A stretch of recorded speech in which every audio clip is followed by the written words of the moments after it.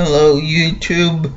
I believe we left off in Mark chapter 4.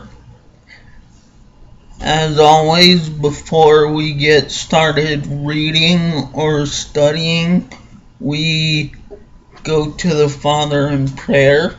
So pray with me.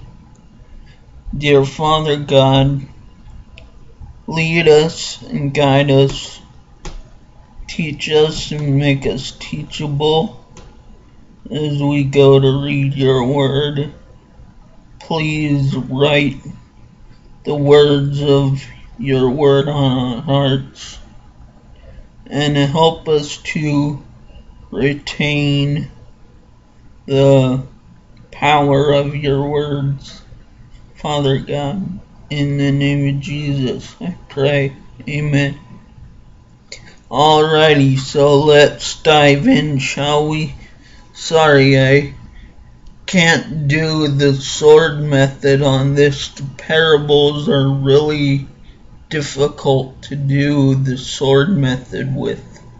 Okay, so, and he began again to teach by the seaside, and there was gathered unto him a great multitude, so that he entered into a ship and sat in the sea. And the whole multitude was by the sea on the land. And he taught them many things by parables, and said unto them in his doctrine, Hearken, behold, there went out a sower to sow, and it came to pass, as he sowed, some fell by the wayside, and the fowls of the air came and devoured it up. And some fell on stony ground, where it had not much earth and immediately it sprang up because it had no depth of earth. But when the sun was up, it was scorched, and because it had no root, it withered away. And some fell among thorns and the thorns grew up and choked it, and it yielded no fruit. And others fell on good ground, and did yield up fruit that sprang up and increased, and brought forth some thirty, and some sixty, and some an hundred. So it's talking about four types of soil that's four different hearts of man and four basic um four basic attitudes uh, I guess you could say. And he said unto them he that hath ears to hear, let him hear. And when he was alone, they that were about him with the twelve asked of him the parable. Okay, first of all, I would like to say here that, uh, that, um, some people disagree on this scripture. Some people say, well, only three of them were saved.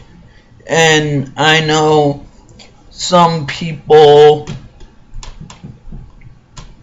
my dad's wife in particular, says that, well, four of these people are saved because there is a scripture that says people there's gonna be some people in the kingdom that uh, just barely make it.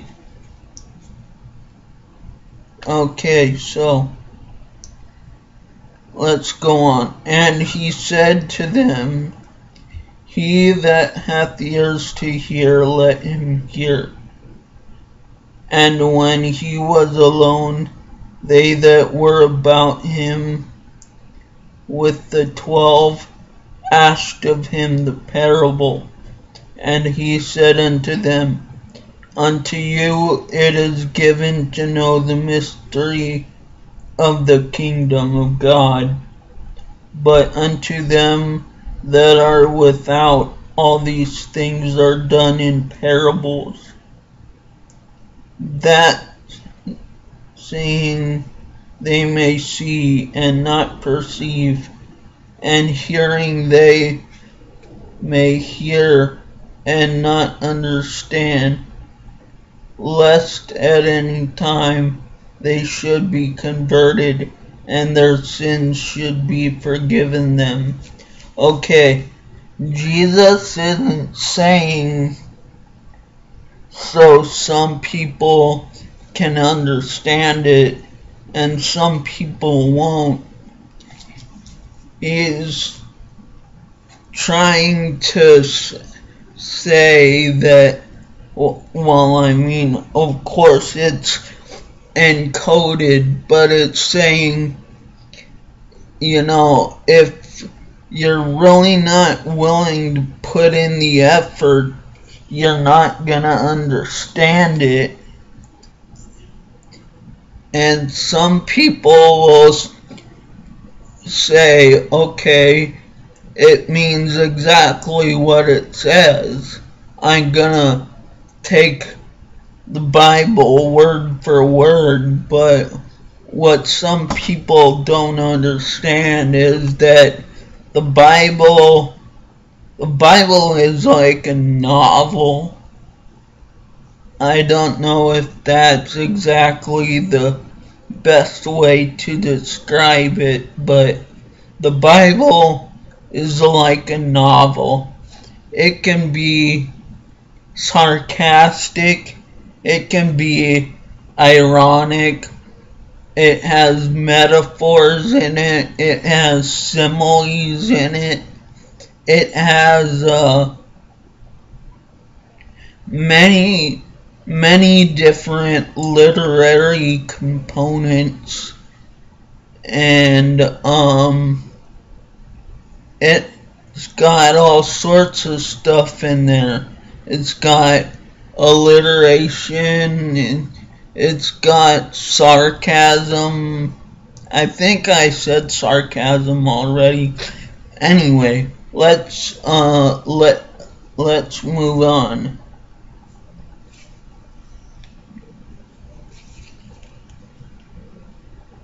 And he said to them, Now ye not know ye not this parable, and how then will ye know all parables?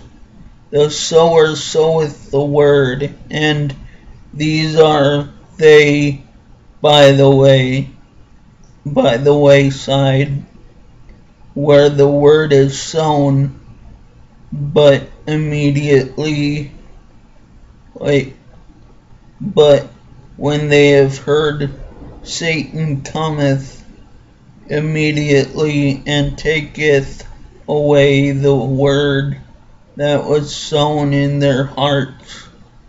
And these are they likewise which are sown on stony ground, who they or sorry, who when they have heard the word immediately receive it with gladness and have no root in themselves and so endure endure but for a time afterward, when affliction or persecution ariseth for the word's sake, immediately they are offended. And these are they which are sown among thorns, such as hear the word, and the cares of this world, and the deceitfulness of riches, and the lusts of other things entering in choke the word, and it becometh unfruitful. And these are they which are sown on good ground, such as hear the word and receive it, and bring forth fruit and thirtyfold, oh, sorry, some thirtyfold, some sixtyfold, and some an hundred. And he said unto them, Is a candle brought to be put under a bushel or under a bed, and not to be set on a candlestick? For there is nothing hid which shall not be manifested, neither was any anything kept secret but that it should come abroad. If any man hears, oh, sorry, if any man have ears to hear, let him hear. And he said unto them, Take heed what ye hear, with what measure ye meet it shall be measured to your oh it shall be measured to you. Jesus is just saying um if most people if you say something offensive to one people or one person, usually they're gonna want to get you back. But some people don't do that anymore, so.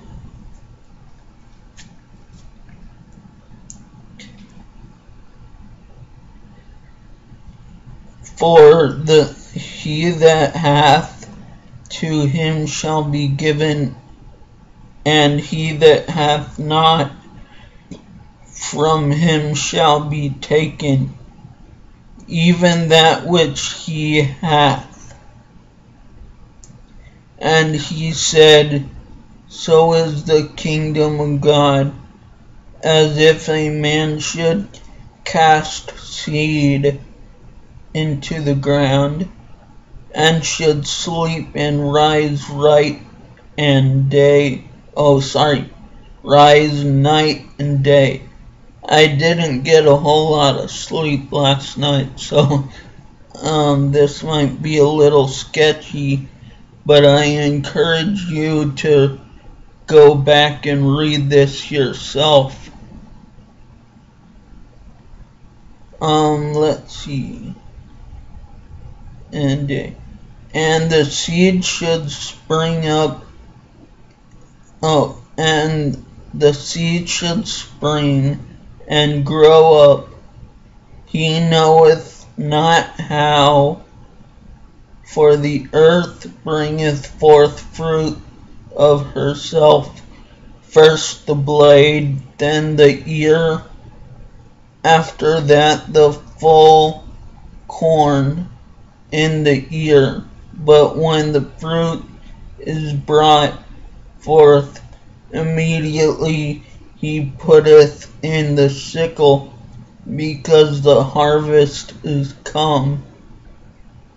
And he said, Whereunto shall we liken the kingdom of God, or with what comparison shall we compare it? it is like a grain of mustard seed, which when it is sown in the earth is less than all the seeds that be in the earth. But when it is sown, it groweth up and becometh greater than all herbs, and shooteth out great branches, so that the fowls of the air may lodge under the shadow of it. And with many such parables spake the word unto them as they were able to hear it, but without a parable spake he not unto them. And when they were alone, he expounded all things to his disciples.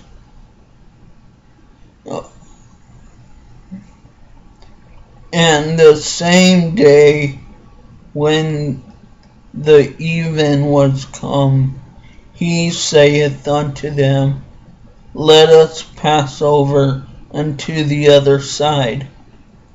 And when they had sent away the multitude, they look him even as hold on, I gotta turn the page.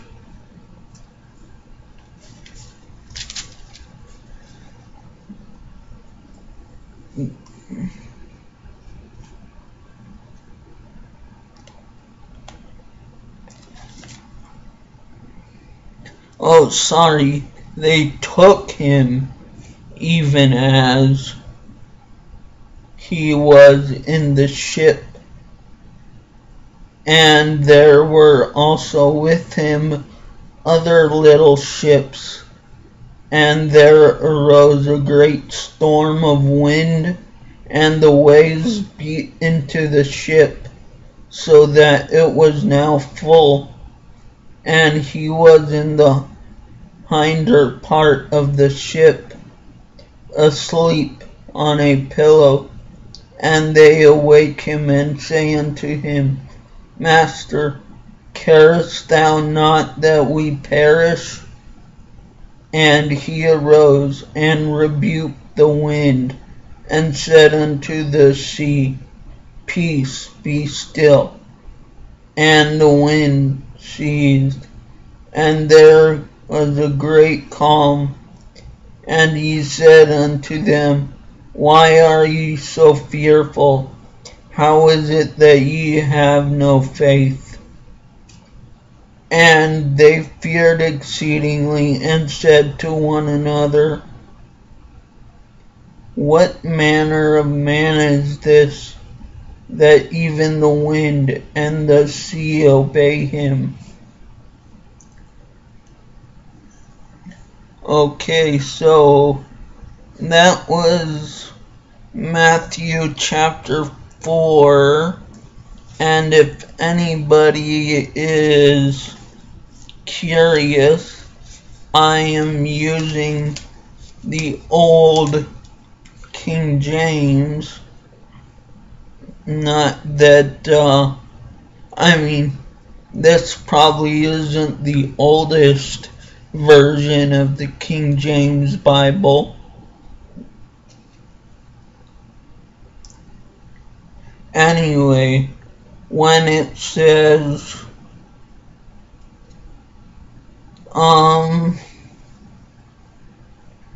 but when they had sent away, no, uh,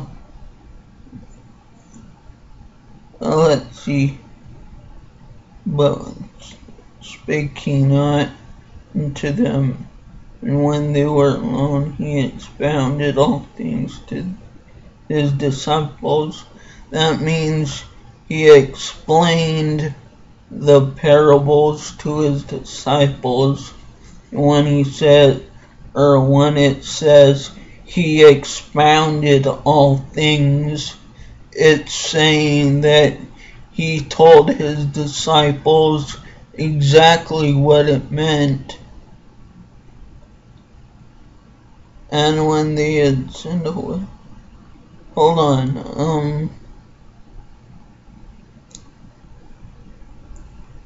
We're able to hear it, but without a parable spake not he unto them. Um, let's see.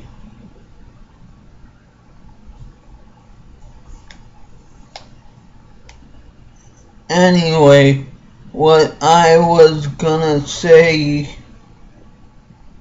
was I can't seem to find it, but what I was gonna say when it says and even had come, it means evening.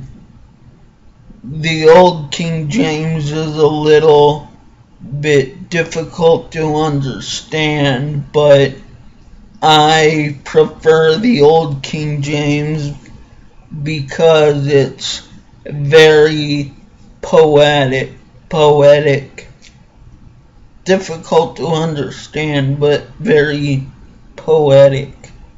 Anyway grace and peace to you and god bless you